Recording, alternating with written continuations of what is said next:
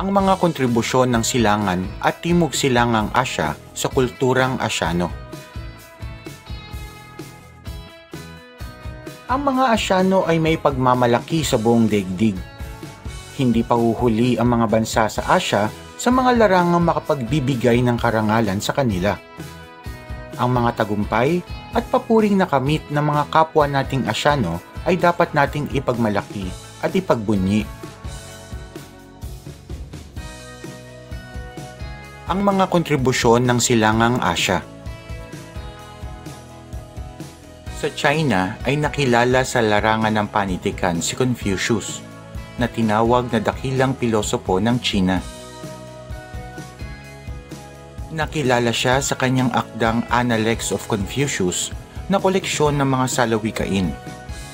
At sa kanya rin ang galing ang gintong aral na huwag mong gawin sa iba ang ayaw mong gawin nila sa iyo sa larangan ng musika at sayaw, tanyag ang Jingxi na kilala din sa tawag na Peking Opera sa iba't ibang panig ng mundo. Sumikat ang pagtatanghal na ito dahil sa makukulay na maskara at pinagsama-samang sayaw at acrobatics. Pagdating sa arkitektura ay namumukad tangi ang bansa dahil sa Great Wall of China na itinuturing bilang pinakamakasaysayang istruktura na gawa ng mga Chino. Itinayo ito upang mapigilan ang paglusob ng mga kalaban. Sinasabing ito ang tanging istruktura sa mundo na makikita mula sa buwan. At sa kasalukuyan, ito ay tanyag bilang isang tourist spot sa bansa at nabibilang sa UNESCO World Heritage Site. Sa larangan ng palakasan ay tanyag ang Kung Fu na pinasikat ni Bruce Lee sa Hollywood at ang Wushu na hango sa iba't ibang martial arts ng mga Chino. Pagdating sa larangan ng panitikan sa Japan, ang akdang Tale of Genji na isinulat ni Murasaki Shikibu ang itinuturing na pinakaunang dakilang nobela sa daigdig. Ang haiku ay isa sa pinakamahalagang pamana ng Japan sa daigdig ng literatura. Ang haiku ay isang maikling tula na binubuo ng labing pitong pantigan at nahahati sa tatlong linyang may lima, pito at limang pantigan. Sa larangan ng performing arts ay kilala ang No ng Japan. Sa pagtatanghal na ito ay pinagsama-sama ang musika, sayaw at pagganap upang maihatid ang temang relihiyoso ng dula. Samantalang ang dance drama na kabuki ay nakatuon sa pag-ibig at paghihiganti. Ang pagtatanghal ay masigla at makulay.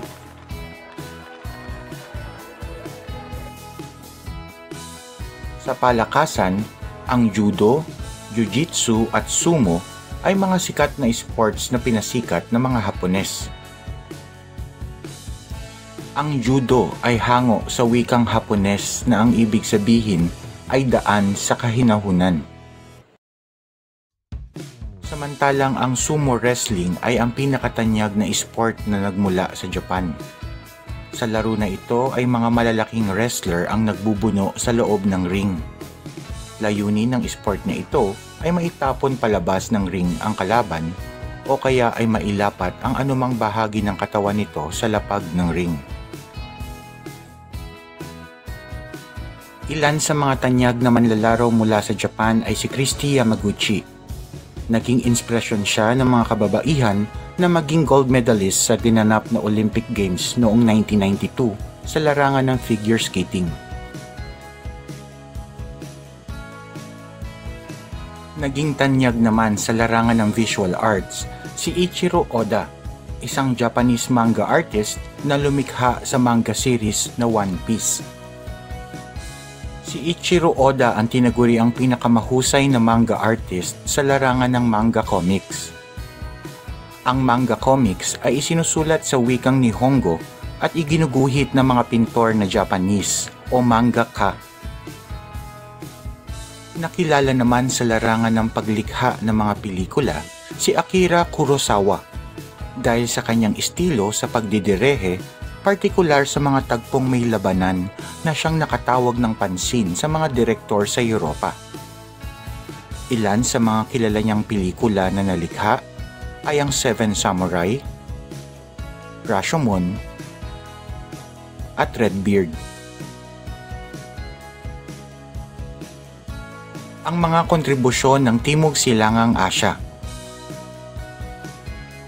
Sa larangan ng pagtatanghal ay kilala ang bansang Indonesia sa kanilang Balinese dance drama na hango sa epikong Hindu at ginagamitan ng mga sayaw.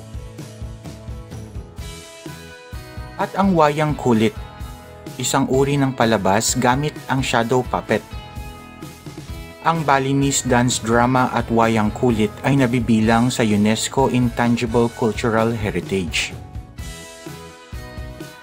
Sa larangan ng arkitektura ay matatagpuan sa Indonesia ang Borobudur, ang pinakamalaki sa mga templong Buddhist sa buong mundo.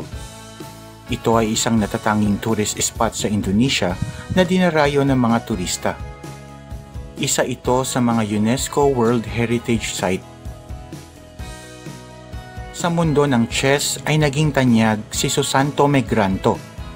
Siya ay tinanghal na chess grandmaster sa edad na labing pito. Sa bansang Malaysia ay sikat ang katutubong sayaw na joget tuwing may cultural festival at kasiyahan. Sa larangan ng palakasan ay popular na laro sa Timog Silangang Asya ang sepak takraw. Ito ay karaniwang nilalaro noon sa korte ng hari sa Malaysia limang daang taon na ang nakalipas. At sa pagsapit ng ikalabing anim na siglo ay kumalat sa Indonesia at nakilala sa tawag na Sepak Raga. At noong 1990 ay formal na napasali sa Asian Games. Isa sa sikat na dula sa Thailand na ginagamitan ng puppet ay ang nangyay na pinakamalaking aninong dula sa buong mundo na pinagagalaw ng mga puppeteers at mananayaw. Noong 1991 ay naideklara ang Ayutthaya Historical Park bilang isang UNESCO World Heritage Site. Ang kickboxing ay nagmula sa Thailand ilang daang taon na ang nakalipas at lumaganap at naging tanyag sa Amerika noong dekada 70. Ang Angkor Wat ng Cambodia ang isa sa mga arkitekturang Asyano na nakitaan ng pagpapadama ng paniniwala at pananalig sa relihiyong Budismo. Isa rin ito sa UNESCO World Heritage Site. Tanyag sa Pilipinas ang mga dulang may kinalaman sa relihiyon, tulad ng Senakulo kung saan ipinapakita ang naging buhay at kamatayan ng Panginoong Hesus at ang Moro-Moro na isang pagtatanghal na nagpapakita ng labanan sa pagitan ng mga Kristiyano at Muslim. Nakilala sa buong mundo si Lea Salonga nang siya ay gumanap bilang Kim sa dulang Miss Saigon. Si Lea Salonga rin ang kauna-unahang Asyano na nagwagi bilang aktres sa Tony Awards. Ang Banawe rice terraces ay inukit ng mga ifugaw mula sa mga gilid ng bundok. Ang hagdan-hagdang palayan ay isang dakilang gawa ng talento at tanyag na pasyalan ng mga turista, lokal man o banyaga. Ang arnis ay itinuturing na pambansang laro ng Pilipinas. Ang pangunahing layunin nito ay may pagtanggol ang sarili. Opisyal na napasali ang arnis sa Southeast Asian Games noong December 2005.